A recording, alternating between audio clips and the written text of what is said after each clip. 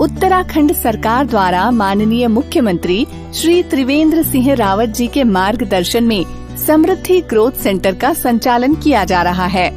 समृद्धि growth centre योजना अंतर्गत MSME के सहयोग से उत्तराखंड भेड़ एवं ऊन विकास बोर्ड द्वारा जनपद टिहरी के विकास खंड घनसाली के राजकीय पशु चिकित्सालय विनय खाल के अंतर्गत राजकीय मेढ़ा केंद्र अगुंडा में ऊन ग्रोथ सेंटर का निर्माण किया गया है, जिसका संचालन उत्तराखंड भेड़ एवं ऊन विकास बोर्ड देहरादून द्वारा किया जा रहा है।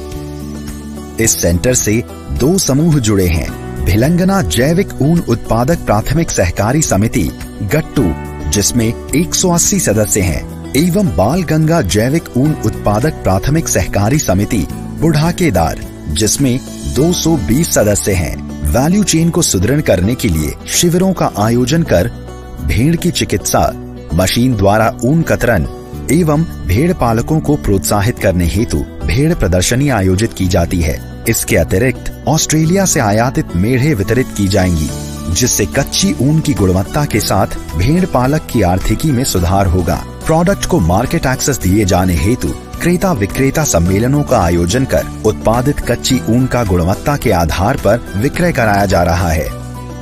मेरा नाम डबल सिंह है। ग्राम मेट पट्टी थाती, जिला टियारी गढ़वाल, पोस्ट ऑफ़िस, घनसाली। और जो हमारे ग्राम सभा मेट से या ग्राम सभा निवाल गाँव से, हमारे क्रेता, विक्रेता से ये हमारा जो प्रचार प्रसार हो रहा, हमारी भेड़ बकरी, पशुपालन तो इससे हमें बहुत लाभ मिल रहा। पहले हम लोग काट से जो है काटते थे।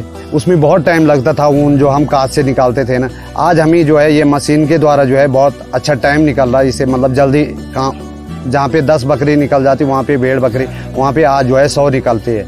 हमें इस चीज़ का यही लाभ मिल रहा भेड़ बकरी पालन का, कि हमारी जो ऊन है, ये पहले लगभग दस रुपये किलो जाता था। और आज ये हमारे पचास रुपये किलो जा रहा है ये ऊन।